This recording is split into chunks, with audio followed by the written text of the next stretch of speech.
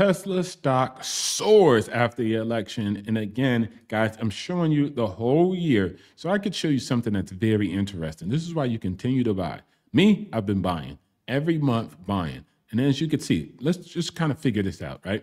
If I've been buying here in November, buying in December, buying in January, buying in February, buying in March, and continuing all throughout here, right? Especially during here, I continue to buy, follow the same strategy, even at some of the lowest points in actual April, where most people were running scared, thinking that Tesla was over and done with.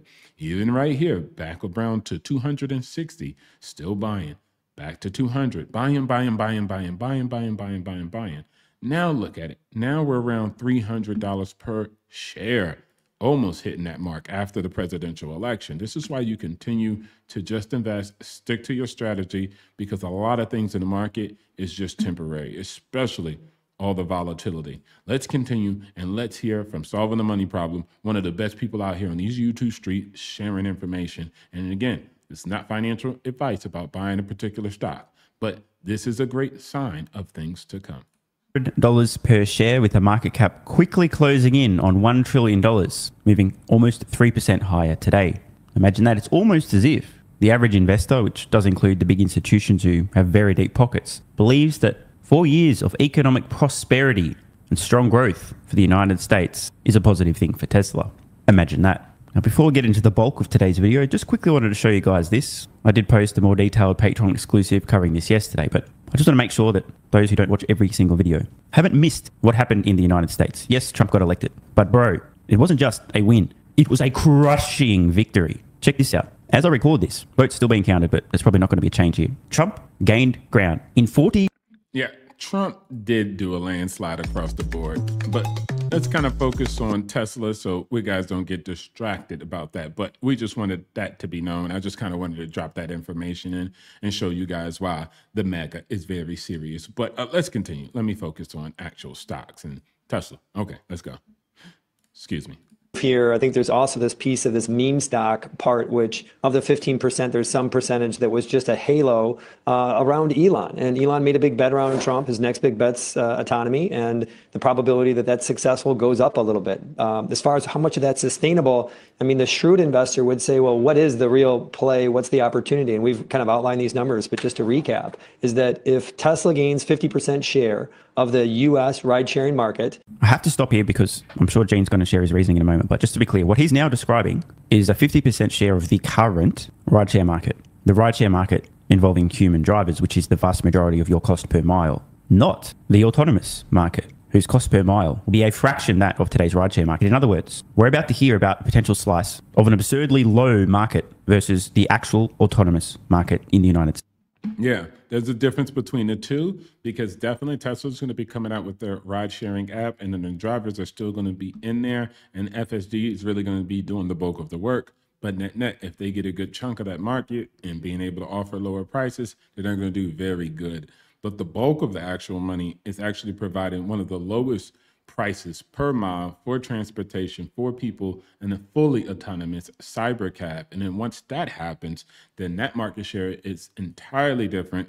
That TAM is entirely greater. And then, of course, those operating expenses will be reduced tremendously because one of the current largest expenses when it comes down to ride sharing platforms is for the driver.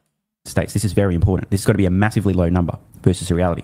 You guys understand, right? An Uber Lyft today, a couple of bucks a mile. Autonomous vehicles at scale, maybe 40, 50 cents per mile meaning many more people can afford and will use the service. So this is the wrong way to think about it. By 2030, which actually I think is is a reasonable target. We'll save that discussion for another day, but that would add about 20% to operating income. And so stocks up 15%, that adds 20%. Now they can take this in other parts of the world, but a lot of it got priced in in a hurry. I'm a big believer in what that means. The one piece that maybe wasn't priced in today is that if they sell more robo taxis, Elon's talking about 2 to 4 million a year ultimately. That'd be about a third of total Tesla deliveries. Uh, I'll take the under on that. I think it's probably closer to 1 to 2, but uh, that's another piece. So, uh, Melissa, to answer your question, I think that this kind of fairly reflected or started to price in some of the robo taxi opportunity. Yeah, and that's where analysts and, and, so many Wall Streeters got so bullish after that cybercab event. Um, that's where they sort of said, you know, the, the, market cap could be X, Y, and Z above what it is right now. Um, in terms, though, Gene, of, of some of the other parts of though the stock did not do good after the actual event, people were like, well, there was no details. And it's like, yeah,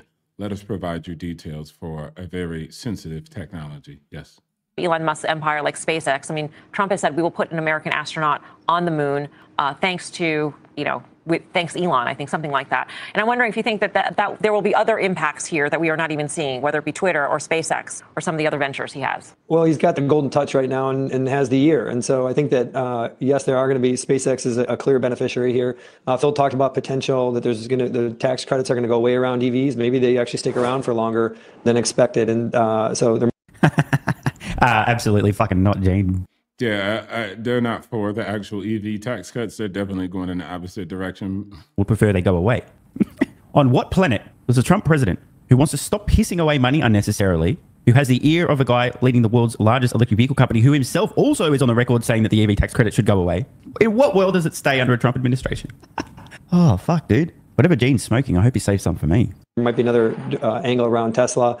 As far as what's going on with uh, X and Twitter, that piece is that uh, there's probably a benefit just around his ability to continue to grow that platform, just kind of in a, more free speech type of world. And and lastly, don't forget about uh, X.AI. I mean, uh, the whole AI piece, this potential around some regulation around AI that diminished today. And so I think that, that this is still going to be pedal to the metal in terms of what it's uh, the infrastructure that's going to be built. And uh, they just raised a bunch of money, obviously XAI, and I think it's that should bode well. So I'm I'm I'm stretched to try to find out how this could play out negative for Elon. That's a. Yeah, that's a fair, right? That's a fair analysis. How, how would this negatively affect Elon?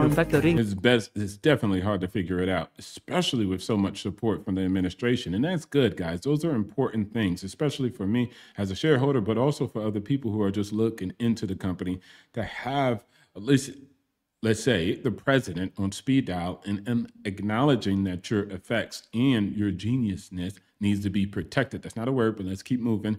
That your skill set that you're bringing to the table needs to be protected. As Trump said many times, right? That we need to protect our geniuses. And I think it's important to protect those people who build out massive amounts of not only technology, but infrastructure and factories and facilities and high quality American jobs. A lot of jobs at Tesla, whether it be SpaceX or actual Tesla, are very good jobs. And the pay is, let's say, fair market value, but what's actually the best part about it is being a shareholder of that company, having stock options and stock rewards. And I don't get it. For the longest, the average people have been screaming up and down that companies don't even pay you enough.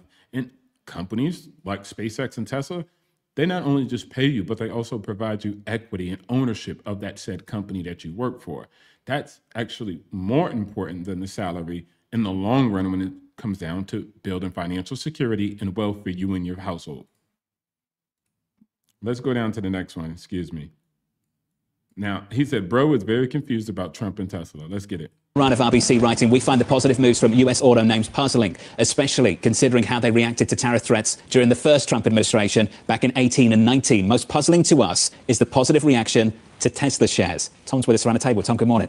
What puzzled you about Tesla? What didn't make sense? Well, it's just we don't have evidence that we're going to get national federal regu- deregulation of AI. Um, tariffs is not a good thing for Tesla, and any repeal or attempted repeal of the IRA would really be bad for Tesla. So, I, other than the fact that the CEO has a relationship with with the, the president elect, I, I don't really see why it would benefit shares of Tesla. Do you have any confidence that he could stop those bad things from happening to the company? I mean, I, we, we saw the first go around, 2018, 2019. Um, I mean, it was more of a threat, so it didn't really happen. So that could be a silver lining. Like, is this just a bluff? Um, I, I don't I, I don't know. I don't know what's inside the hearts of these individuals. You know, this is making me think I might have to make a separate video, a completely separate video, just going through like 10 or so reasons why a Trump administration will benefit Tesla directly. You guys want that? Yeah, that would make sense. Let me know in the comments below. I'm just kidding. I'll do it anyway. So stay tuned for that video soon. It's amazing to see Tom here just not understanding it. well, I'm going to pause because I think he's not important. Once he does not understand, he said he don't understand. So completely fine. We're not going to ask you because what we're trying to do is figure out why, right? So if I say, hey guys, I don't know why Tesla would actually be worth any money, then you could click off the video because I, I, told you I don't know why, right? I can't see it. I can't understand it. I can't translate it. I don't know why. He didn't say I don't agree with it. He said, I don't know why it would make sense. So, okay, you're not the individual we should be talking to in this stream. But for me, it makes complete sense. Now, when it comes down to regulation and X, Y, and Z, it's just a more favorable president's administration, right? Like massive amounts of things that Tesla and actually SpaceX has done. A lot of people did not recognize that. And dude, talk about Elon being ever so more popular. People pay billions and millions of dollars to get the advertisement that Tesla is getting and Elon is getting when it comes down to Donald Trump, right? And whether he's talking to a large group that never was actually hearing anything about EVs and Tesla because it was poorly marketed.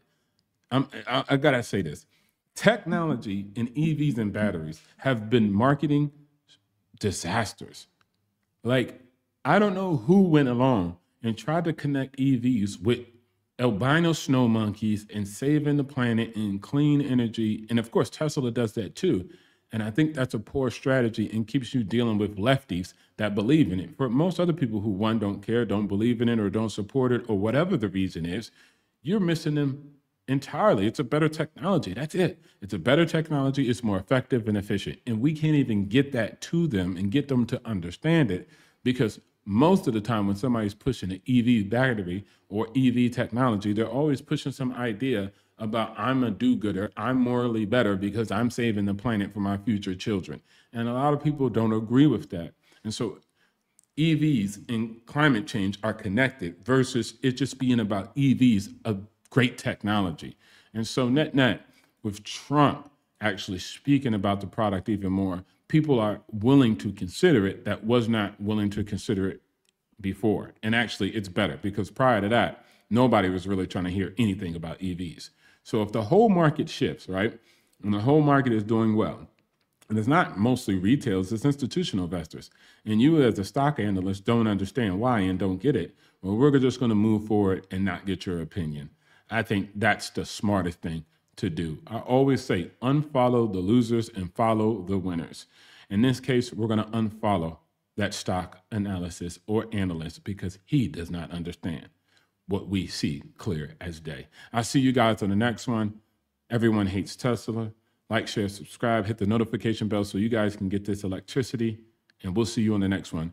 The stock price is going to continue to roar and it's probably going to go back down. And guess what I'm going to continue to do? Follow the plan by buying more. See you guys. Peace.